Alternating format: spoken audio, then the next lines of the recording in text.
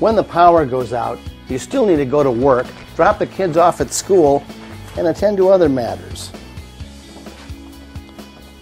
But how do you get your car out of the garage when the power is out? If your garage door opener doesn't have a battery backup, don't worry, you're not stuck. First, locate the emergency release cord, which hangs down from the center rail of the garage door opener. Usually the handle is red. Pull it down and away from the garage door. This will disconnect the door from the opener. You may hear a snapping sound. Once the door is free from the opener, it can be manually raised and lowered. Make sure the door will stay open on its own before you leave it unattended. When the power has been restored, you'll need to reconnect your garage door to the opener according to the owner's manual. Most openers are easy to reconnect.